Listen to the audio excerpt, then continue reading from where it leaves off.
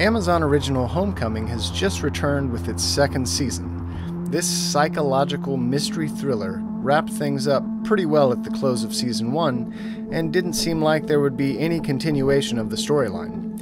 Now, much to my delight, the creators do continue the story, but in a very unique way. If you get through the first episode and you were completely lost, just stick with it a little bit longer and things will begin to clear up. Showrunner Sam Esmail, who is well known for Mr. Robot, weaves a web of power struggles that go straight to the top of the pyramid. He is great at keeping the viewer guessing and using cinematic staples in new and exciting ways.